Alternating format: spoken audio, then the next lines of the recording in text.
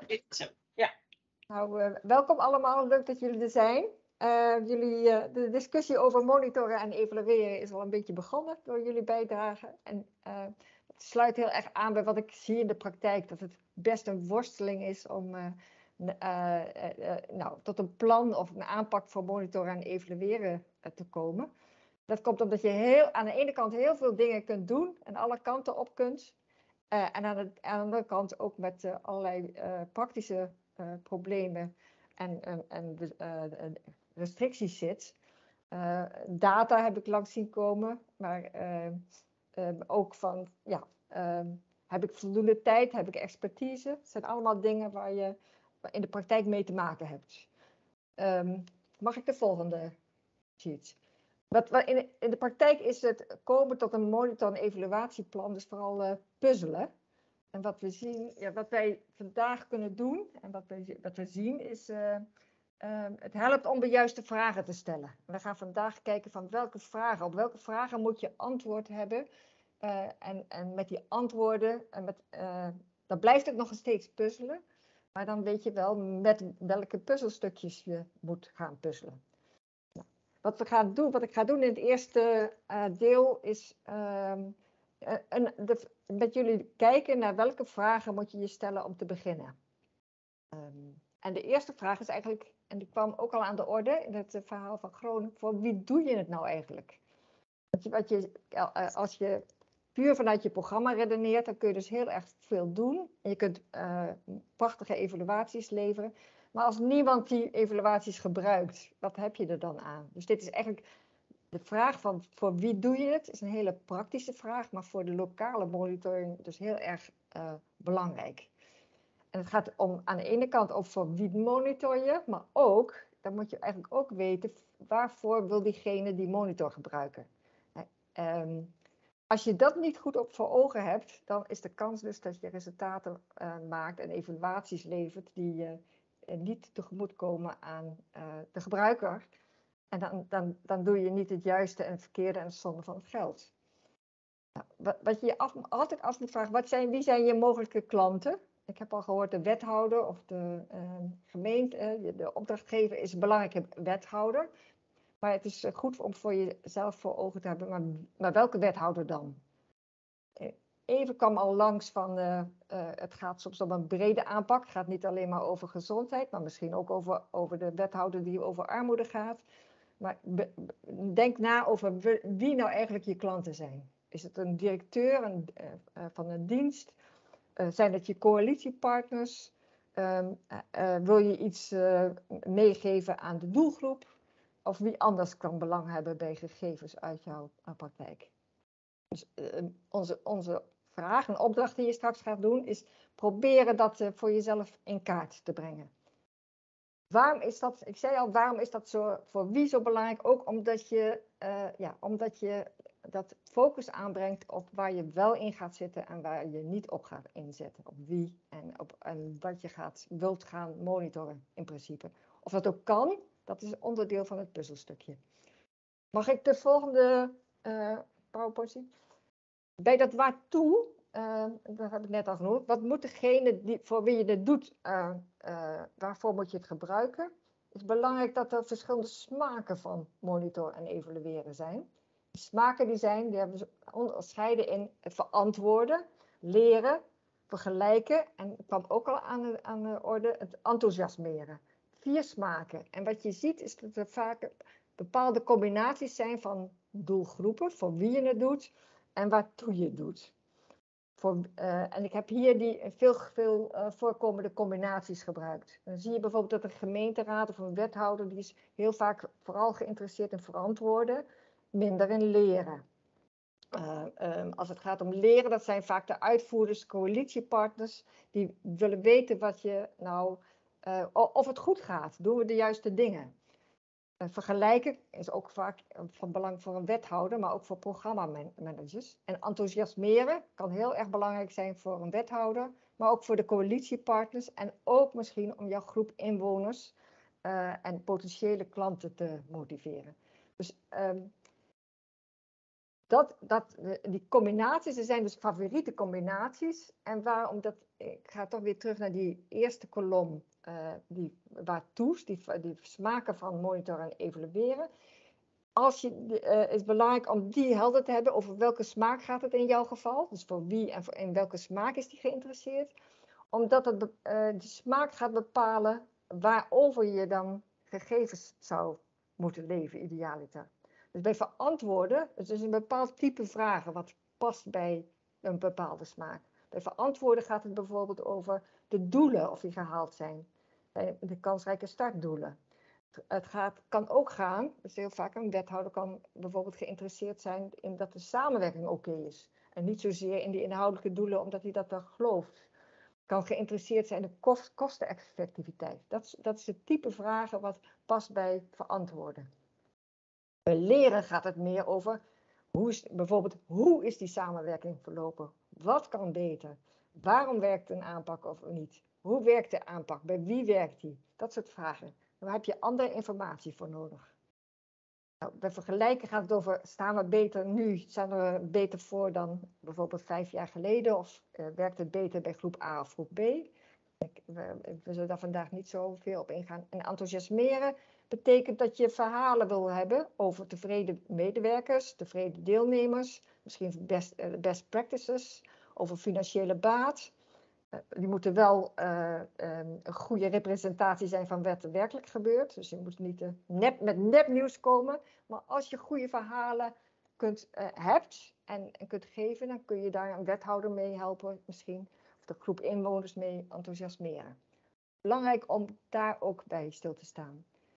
En er kwam net al een beetje langs van borgen, zei iemand, ik weet niet meer wie het was. Uh, bij borgen is eigenlijk, heb je twee dingen nodig. Je moet, je moet aan de ene kant iets weten te verantwoorden. Je moet laten zien dat je het goed hebt gedaan. En, of, en, en iets wat voor de toekomst ook belangrijk is. En aan de andere kant zit er een component in van enthousiasmeren. Mensen enthousiast maken over wat is gebeurd. Het zit een beetje verschil in het verantwoorden puur omdat je bij borgen als het ware ook vooruit kijkt. Je haalt die dingen uit je, ja, dat is strategisch, je haalt die dingen uit je opbrengsten die voor de komende periode, voor de toekomst van belang zijn. Dus je, je, je bent selectiever, ook met het oog op wat er in de toekomst, kom, het komende coalitieakkoord bijvoorbeeld, uh, relevant is. Um, ik denk nog even de volgende vraag. En als je dan nog, volgende sheet, en als we dan nog uh, vragen is, uh, zijn, dan kunnen we dat voordat we aan de opdracht beginnen behandelen. Wat ook belangrijk is, want ik zei al in het begin van, uh, ja, in de praktijk kun je echt niet alles doen. Dan moet je kiezen. En als je moet kiezen van, uh, uh, wat kan ik wel doen, of hoeveel kan ik wel doen, of hoeveel kan ik niet doen, wat ga ik doen, dan moet je ook je startcondities en beginrandvoorwaarden goed in beeld hebben. En dan gaat het over dingen als ja, eventuele gevoeligheden, belang. Uh, er werd net gezegd van mijn wethouder gelooft het wel inhoudelijk. Nou, dat is mooi. Dat betekent dat je misschien met een hele lichte evaluatie of een één dingen uit kan pikken, een vernieuwende aanpak of een, e-, iets wat echt vernieuwend is waar je je op richt. En dat je niet hele zware evaluaties uh, hoeft te doen. Maar als iets een, een heel gevoelig onderwerp is, dan zul je een gedegen evaluatie moeten doen, want anders kun je heel makkelijk nat gaan. Dus, dus je moet die dingen ook in elkaar brengen. Van nou, hoe, gaat het ermee? Wat zijn mijn mogelijkheden? En die vormen één van de puzzelstukjes. Want je kunt zeggen, nou, als, het kan zijn dat je zegt van mijn startcondities zijn niet optimaal voor wat ik eigenlijk uh, wil in, en, en, en, moet doen.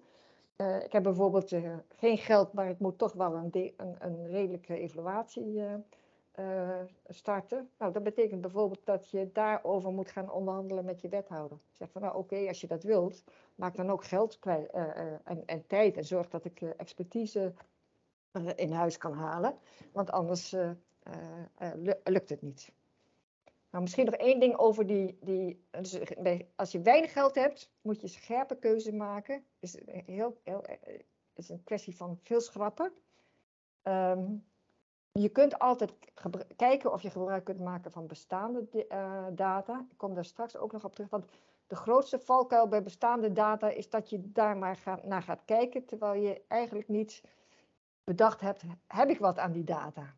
Iemand zei, nee, ik merk dat ik echt die data niet waardevol zijn. Maar die vraag, is een hele go uh, goede constatering, want ga niet zo, loop niet zomaar achter de data die verzameld zijn aan. Maar, maar denk echt na van heb ik daar wat aan of uh, laat ik ze gewoon maar passeren. Het helpt niet als je informatie hebt over uh, uh, mouwen van een jas, terwijl je geïnteresseerd bent in hoeveel knoopsgaten er bent. En als je bijvoorbeeld een aanpak hebt waarbij je probeert om mensen uit de schulden te halen, dat is misschien wel aardig om te weten hoeveel mensen uit de schulden zijn gekomen of hoeveel van je doelgroep. Maar als, je, als dat niet onderdeel van je aanpak is, waarom zou je dan data over uh, armoede gaan verzamelen? Dus, dus de, denk, de belangrijkste boodschap is, denk daarover na. Passen die data die er zijn wel bij jouw situatie, bij jouw aanpak en, en, en kunnen ze daarover iets uh, waardevols zeggen? Nou, laatste tip bij het inzet, als je nou weinig budget hebt, um, uh, ja, je kunt ook denken aan inzet van deelnemers, getrainde deelnemers, of bijvoorbeeld, niet bij opgezet, maar wel belangrijk, uh, misschien kun je een coalitie aangaan met een hogeschool of een, uh, of, een opleiding en kun je zorgen, kunnen zij, want een hogeschool of een, of een universiteit, wat je doet kan voor die universiteit of hogeschool heel interessant zijn. En misschien willen ze wel iets voor je doen. Nou, dit zijn dus de eerste drie dingen die je, je zou moeten weten. Voor wie doe ik het? Waartoe heeft diegene informatie nodig over monitoren? En wat voor soort? Is er, welke smaak is dat van dingen? En het derde is van, dat zijn mijn startcondities. Wat we jullie willen vragen, tenzij er nog even vragen zijn nu, is daarover na te, te denken. En dat, daarvoor hebben we een aantal um, worksheets gemaakt. Vragen jullie 15 minuten daarna en, die te proberen voor jezelf te beantwoorden. Kijken of dat lukt. Komen we daarna weer terug met, uh, om te bespreken wat je ervan geleerd hebt of waar je tegenaan loopt. Vraag is, Lydia, ja. de, ik zie twee, twee mensen, Petra en ja. uh, Rosalie, die niet in de, in de chat kunnen. Dus ik wil even uh, ja. kijken of zij vragen hebben nog, of dat ze misschien al weg zijn. Dat kan ook. Hadden jullie vragen voor, voor Lydia? Of...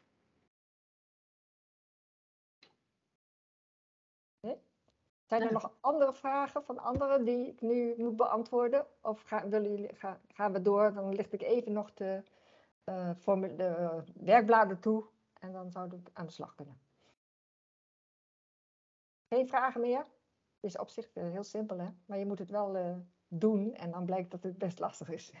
maar, maar, dat merken jullie vanzelf. Dus nou even, het is een oefening van nu met invullen. Uh, wat ik nu al wil meegeven, ehm, hiermee kom je niet direct tot een plan, maar het is wel iets wat je, wat je helpt. En onze inzet is vooral dat je ziet hoe je het kunt doen. En misschien kun je dat later nog een keer doen met collega's of Misschien wel met je coalitiepartners. Heel belangrijk. Mag ik even de werkplan, volgende werkplan, Daniel? Ja. Eerste werkblad is dus dat je in, in gaat uh, vullen voor wie je nou eigenlijk wil monitoren en evalueren. Wat zijn je belangrijkste klanten? En kun je ook, dat is de linker kolom van het linkerdeel. En aan de andere kant kun je ook al iets zeggen over de smaak. Wat, waar, uh, um, wat wil die verantwoorden, wil die leren, wil die vergelijken of enthousiasmeren? En gebruik dan dat, dus, informatie van de PowerPoint die ik net heb laten zien, die aan de rechterkant staat, als een soort inspiratiebron. Tweede werkwoord gaan we nog een stapje dieper. Van, kijk, want je, je zult zien van misschien heb je wel twee klanten. En die willen misschien verschillende dingen. soms kun je wensen combineren, soms niet. Maar dan moet je toch net een stapje verder gaan ook. Um, en in de praktijk moet je natuurlijk altijd ook weten, als je de smaak weet, eh, wil je toch ook, moet je ook een stap verder van wat is het dan precies wat hij wil weten. Daar gaan we mee aan de slag. Je neemt één gebruiker, dus kies één van jouw klanten en probeer dan te kijken van, als die gaat over verantwoorden, wat is het dan precies waar die iets over wil weten. Probeer nog één slagje concreter te worden. Dus dat is... Uh, kunt, als je er zelf aan de slag gaat, die exercitie ook doen voor andere prioritaire gebruikers. En als je die informatie hebt, dan kun je al kijken, kan ik dat bundelen of moet ik dan toch een keuze maken voor de ene, uh, uh, heeft de ene toch prioriteit voor het andere. Dus heeft misschien de wens ten aanzien van verantwoorden, is dat toch net iets belangrijk dan voor over leren. Ehm, en de derde sheet is de sheet over de begincondities. Um, heb ik omgezet in een aantal vragen. Hoe staat het met het belang, politieke gevoeligheden, middelen, urgentie, menskracht? En dan uh, vraag je om zelf daaruit conclusies te trekken. Wat betekent dat voor jouw monitor, gemeentelijke monitor en evaluatieplan? Is dat uh, voldoende om aan de slag te gaan? Zullen we dan uh, doorgaan, Hanneke? Mag ik weer de PowerPoints? Um, nou, ik, daarnet hebben we eigenlijk op een hele intuïtieve manier, kun je bijna zeggen, maar zonder enige echte theorie uh, um, gewerkt. En om, om, een beetje een idee te krijgen van uh, waar zou ik op moeten letten of wat voor uh, welke informatie zou ik moeten gaan ophalen. Hè? En, en, en, informatie die gebruikt gaat worden. Uiteindelijk moet je dat echt handen en voeten geven en moet je, moet je bepalen van wat ga ik volgen. Wat zijn mijn indicatoren? En daarvoor, en dan kom ik dan een beetje meer, is het een beetje meer theoretisch, moet je een verbinding maken van die algemene inzichten, van ik moet iets weten over kosteneffectiviteit of dat het de inwoners helpt, uh, met, met jouw programma en de opzet van, van hoe jij het doet lokaal en wat lokaal doelen zijn. En dan helpt wat uh, het expliciet maken van hoe je programma of project in elkaar zit.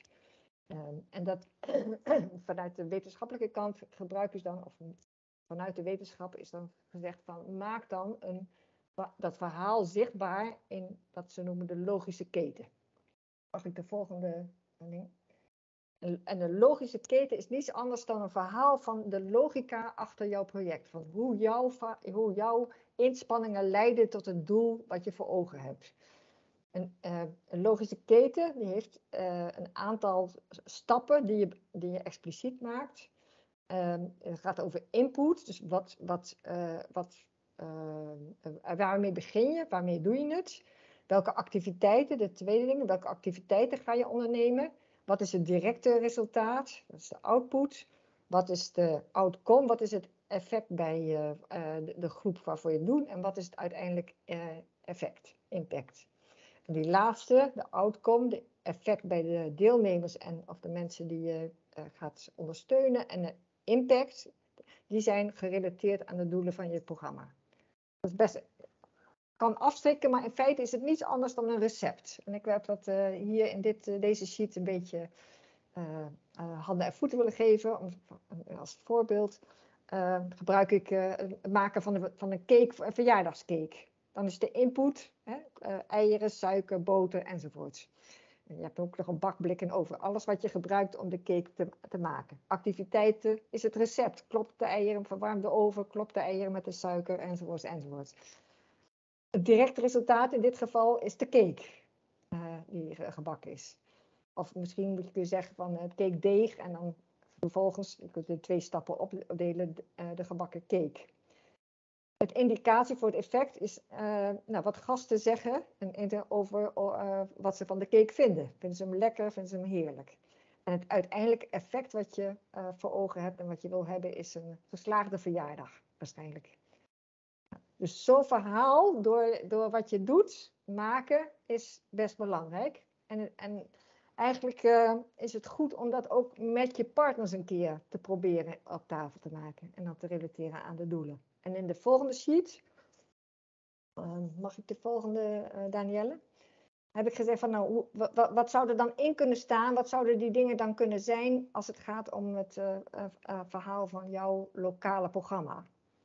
Nou, input met jezelf, hoeveel tijd, hoeveel middelen heb je, welke coalitiepartners hebben. Activiteiten kunnen bijvoorbeeld zijn samenwerking zoeken en zorgpaden, nieuwe zorgpaden ontwikkelen, huisbezoeken organiseren, seksuele voorlichting op school, uh, uh, de trainingen aan, ik hoorde net langskomen de trainingen aan in de ziekenhuizen van de gynaecologen of, en, an, en trainingen aan anderen.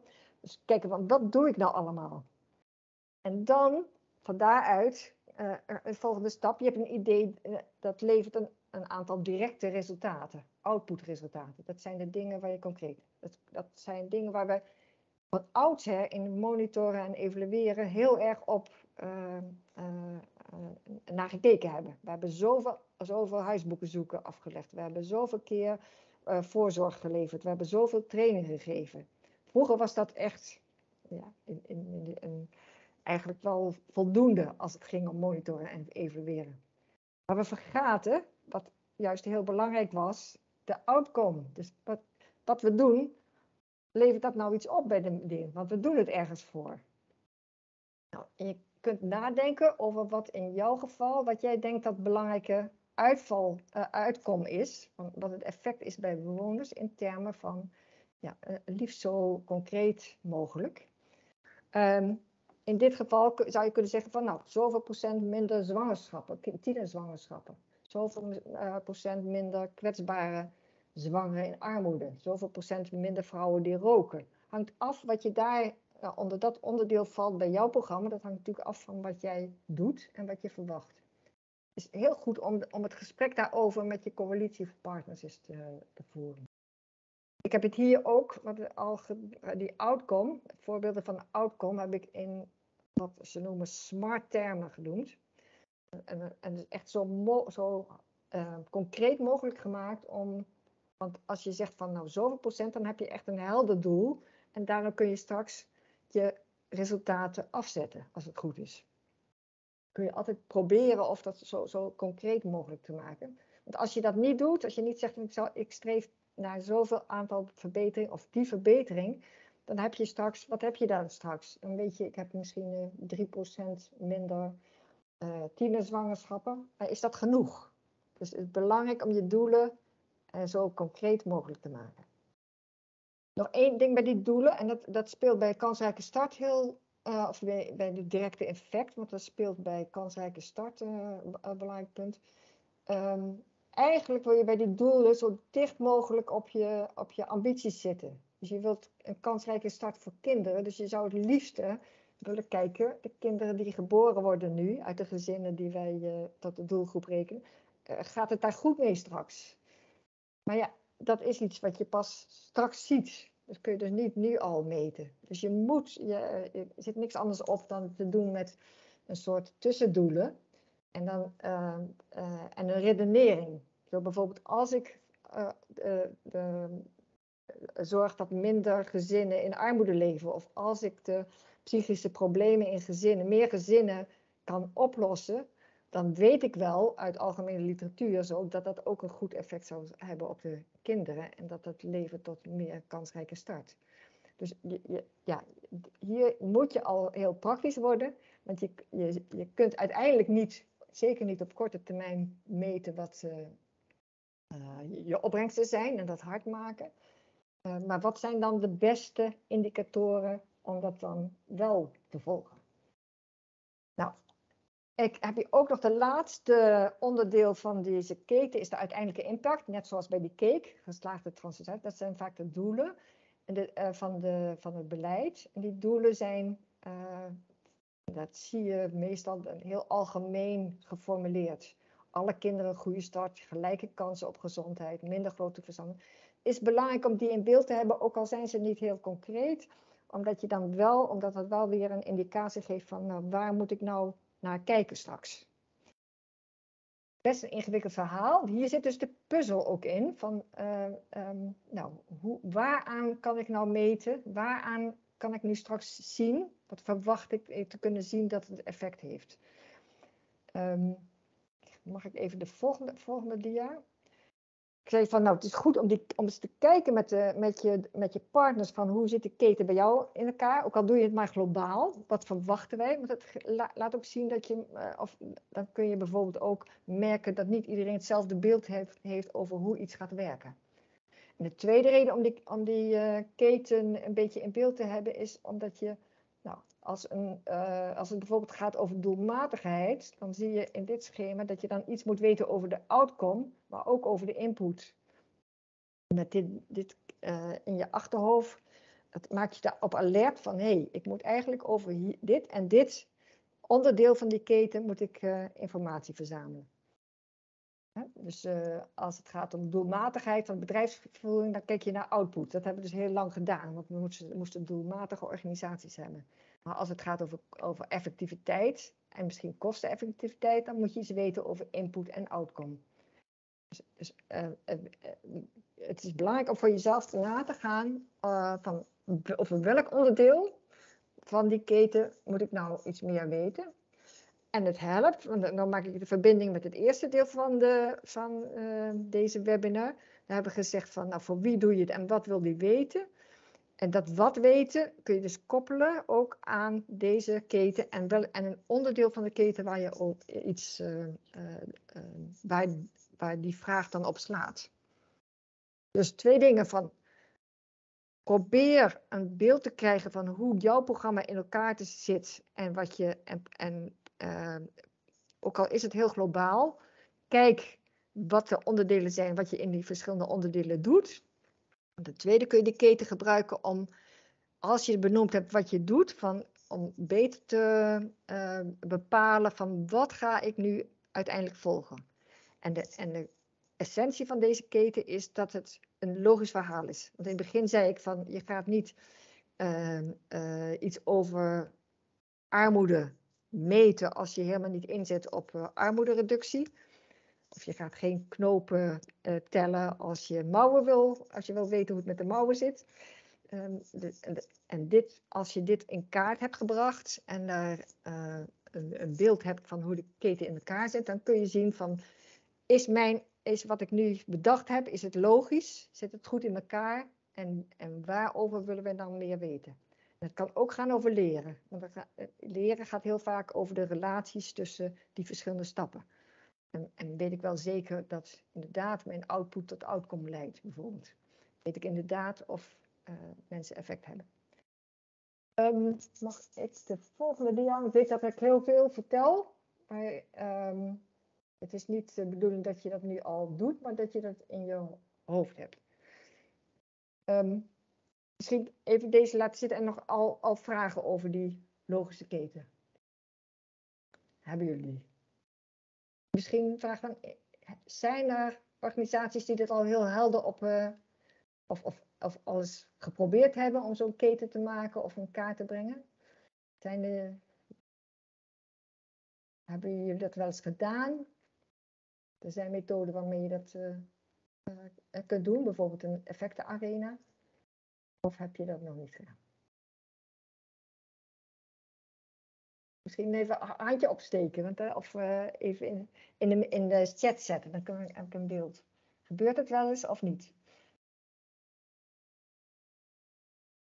Hebben jullie dat gedaan? Eigenlijk gebeurt het, hebben jullie het gedaan? Willen jullie het in, in de chat zeggen, zetten wat je, of je al wel gedaan hebt of niet?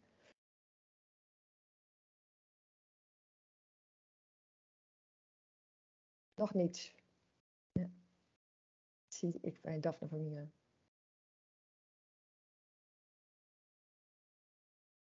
Niet gedaan, nee.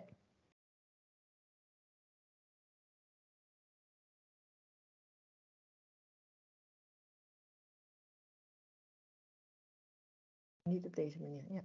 Een specifieke casus. Ja, ik kan me voorstellen dat je het wel op een specifieke casus doet, omdat het ietsjes makkelijker is uh, iets behapbaarder is dan een hele keten. Maar toch uh, uh, is het wel de moeite waard om, om, te proberen om het te doen. Ook omdat het gaat, omdat het je dwingt om je doelen te, te laten, dat, je doelen van het programma scherp te stellen en dat te benoemen. Ja. Wil iemand nog wat zeggen?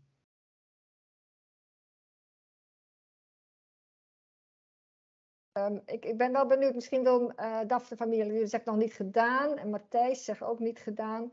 Matthijs, en, um, is dat omdat je er nooit aan gedacht hebben?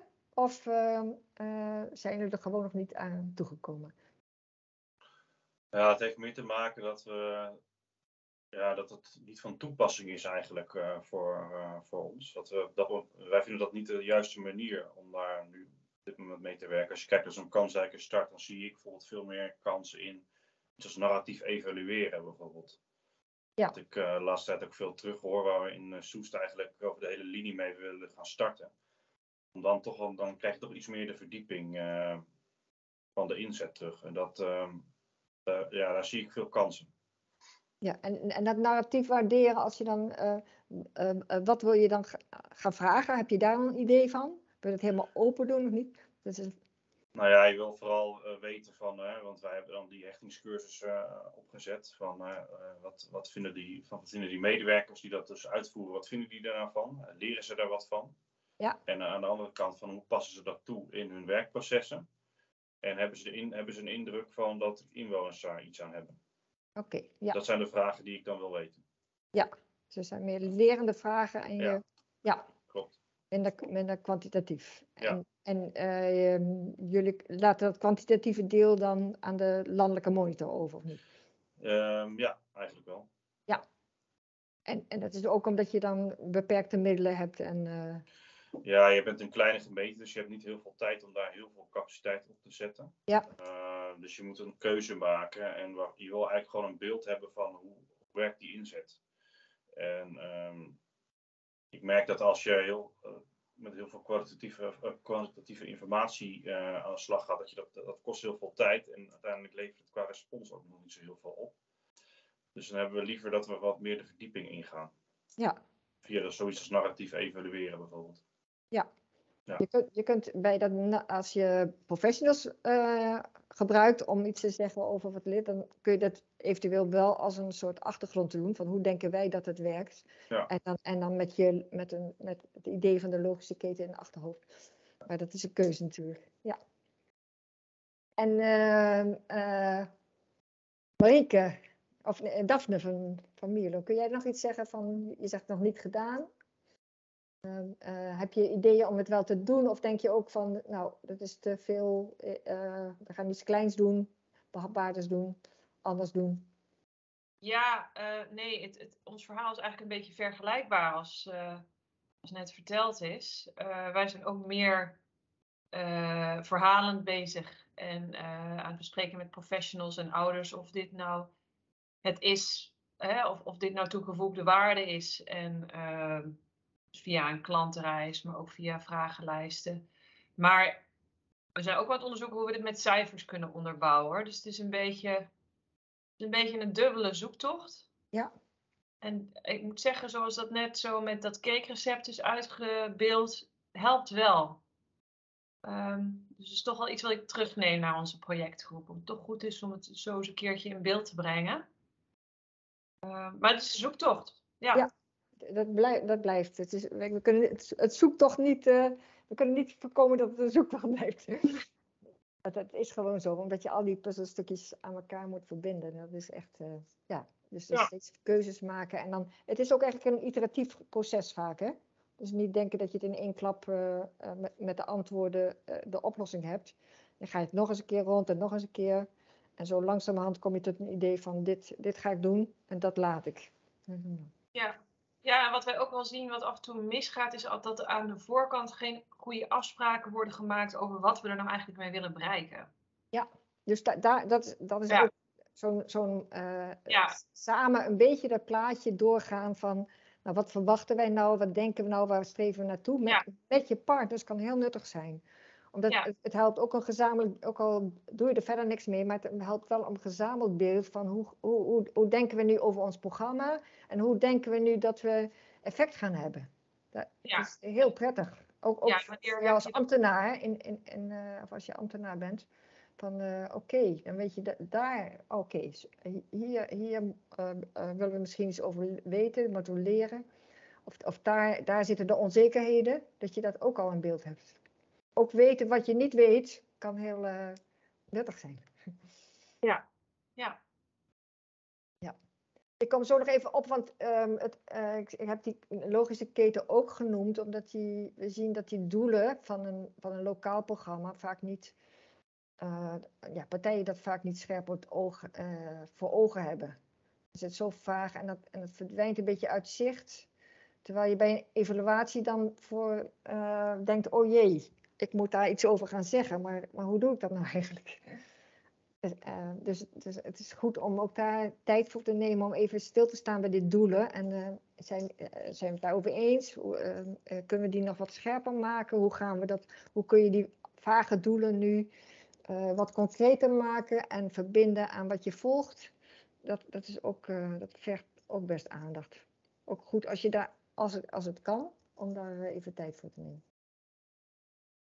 Um, ik denk dat ik het hier Of wil nog iemand wat zeggen? Anders uh, laten we het hier. Of Anne, Hanneke, heb jij nog uh, dingen die wij. Uh, zeggen? Anders gaan we naar de slottips en nog een laatste verwijzingen naar literatuur. Zullen we dat doen? Ja, het lijkt me goed. Nou, wat doelen betreft, um, jij zei van de tussendoelen zijn ook heel belangrijk. Hè? En wat ik in veel coalities ook zie, is dat ze in eerste instantie vaak de landelijke doelen ja. Uh, aanhouden. Hè? Zo van oké, dat. Maar uh, uh, jij noemt het al, maak het concreter. Dat zou ik dan ook zeker adviseren om dat met die landelijke doelen te doen. Want dat is, een, dat is eigenlijk bijna een beetje ambitie, ambitieachtig, hè? waarop het dan bijna geformuleerd is. Ja. maar wat ga je, welke doelen heb je dan zelf die daaraan bijdragen en die zorgen dat er ook echt in die richting wat verandert? Ja, en, en wat je ziet, lokale doelen kunnen net iets anders zijn. De exact. RIVM gaat echt op de inhoudelijke doelen. Uh, lokale doelen kunnen ook zijn uh, uh, dat de, de samenwerking beter verloopt of dat er een netwerk ontstaat.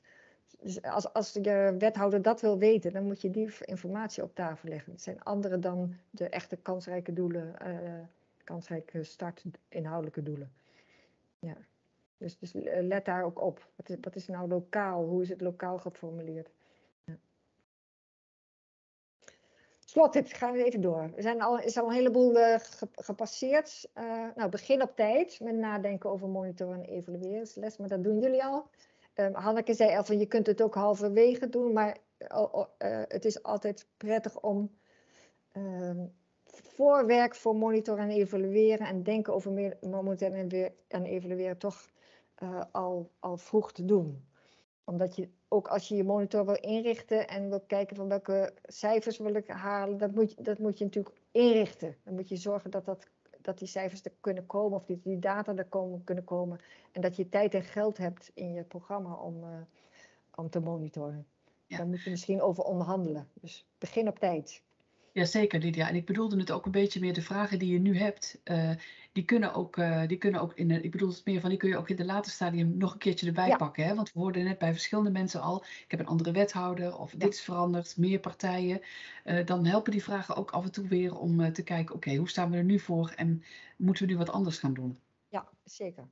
Dus, nou ja, ehm, Moment, eigenlijk begint het ook heel vaak met de doelen goed in kaart brengen en kijken van hoe je programma in elkaar zit. Uh, um, de, de, de vragen beantwoord ook, al zo vroeg mogelijk de vraag van wie ga je nou eh, monitoren en evaluatie en, en dat wil niet, wat moet hij met die informatie. Doe dit met partners en toekomstige klanten van jouw M&A data, hebben we ook aan, aandacht aan besteed. Kijk of je geld nodig hebt en misschien kunt samenwerken met andere organisaties. Um, en, en heel belangrijk in die vroege stadium, dat zei ik net al, dat kun, je kunt ook uh, nagaan wel, uh, uh, of welke informatiepartners, uh, over welke informatiepartners beschikken, of welke data ze kunnen verzamelen. Kunnen ze dat doen? Je kunt wel mooie plannen maken, maar als je vervolgens de data nergens vandaan krijgt, ja, dan is het een, een ideaal, maar ehm, dan kom je daar niet mee.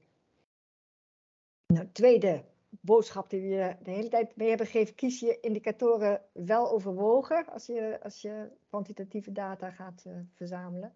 Zorg met een link voor die logische keten. Eigenlijk is daar ook denk vooruit. Als je denkt van nou deze indicator is misschien interessant, vraag je dan af, uh, gaat die straks iets zeggen? Als ik daar nou verandering op zie, verwacht ik een verandering? En als ik nou verandering zie in die data, um, zegt dat dan iets over wat ik wil weten? Vaak voor die harde data moet je, uh, um, die moet je ook nog evalueren. Bijvoorbeeld met, of bespreken met andere data. Wat zit er onder de data? Wat is het verhaal achter de data? Want harde data zijn, of, of kwantitatieve data zijn vaak niet alleen uh, genoeg. Um, er komt straks een indicatorenset een kansrijke start. Dus, maar vraag je dus af wat ik. En dat speelt ook indicatoren, hè, um, kwantitatieve data, die zijn vaak uh, ehm, voor een hele gemeente of, of misschien voor een wijk. Als je nou een klein project hebt, een klein programma in een wijk, hoeveel, hoeveel deelnemers heb je dan? En, gaan die, en als je al die deelnemers zou helpen, denk je dan dat je een, uh, iets daarvan terugziet in je data die je gaat verzamelen? Of, of is het maar zo'n klein deel van de totale populatie dat je dat niet gaat zien? Dan moet je iets anders doen. Hè? Dus het is, uh, uh, en wat ook speelt bij die landelijk verzamelde data, je loopt altijd iets achter. Als je eerder iets wil weten over je programma, nou, misschien moet je dan een andere methode gebruiken. En misschien moet je eh, helpt het dan om meer met vragenlijsten te werken? Eh, is misschien wat zachter. Of het narratief waarderen te laten doen. Of die e-mail te sturen met die vragen. Dat je toch zelf een gevoel, al toch een gevoel krijgt van wat gebeurt hier. In plaats van helemaal te vertrouwen op die uh, indicatoren set. Nou, en dan heb ik meteen de derde, die hier als tweede staat, maar waar ook een tweetje bij staat van, ja, naast die kwantitatieve data ja, denk echt na over kwalitatieve dalen. Nou, is misschien iets zachter, maar ja, ja je kunt er zeker uh, veel uh, uithalen. Ik kan ook nog even verwijzen naar, en er is een, nog steeds beschikbaar op de uh, website Gezond In, een verhaal van een webinar over ehm, het verhalen vertellen en wat je daarmee kan, ook met een korte inleiding. Dus voor wie daarin geïnteresseerd is, misschien goed om daar nog even naar te kijken ik denk dat we in de mail na afloop van de webinar wel even de link kunnen eh, meesturen. Ja, zullen we doen. Ja. Het gaat ook over hoe richt je dat dan in en wat, en wat welke methode. En verder hebben we nog een aantal tips voor uh, literatuur en, en wat uh, verhalen over monitor. Dit is belangrijk. Uh, vandaag hebben we gewerkt volgens een aanpak van buiten naar binnen die we beschreven hebben in het vizier. Een link van mee. Er is een handreiking doelen stellen. Uh, die kan helpen om, om meer specifiek te maken. Hè? Bij, bij hoe je meer specifiek je doelen formuleert. Met allerlei voorbeelden. Um, en we hebben ook nog een soort uh, keuzehulp van instrumenten. Je, je kiest je instrument bij wat je uiteindelijk met monitoren wil doen. Maar we hebben kort een aantal methoden beschreven die uh, niet al te. Ja, de, de meeste zijn niet al te, al te duur en light. Is misschien ook interessant. Um, dan zie ik nog hier de kansrijke start uh, monitor en een, uh, infosheet. En, ja. en nog uh, aanbod om te praten met Hanneke te bereiken als je meer vragen hebt. En dan hebben we nog één slot, want we hebben in de loop van de tijd een heleboel verhalen van gemeenten verzameld over monitoren en evalueren in het kader van het Gezond In-programma met, met allerlei uh, verschillende accenten over uh, van ervaringen. En die hebben we hier op een rijtje gezet. Vind je misschien interessant? Met heel kort erachter van waar gaat het nou eigenlijk over? En um, um, steeds zit er onder de stad, waarover de gemeente waarover het ging, de naam van de gemeente, hebben we de link naar het uh, interview. Dus mocht je daarin geïnteresseerd zijn of in willen kijken, dan nou, ga je gang. Ik denk dat ik dit was. Tenzij ja. er nog vragen zijn. Geen vragen meer. Nee. Nou, helemaal goed. Dankjewel Lydia. En jullie ook dankjewel voor je uh, tijd en, uh, en uh, luisteren.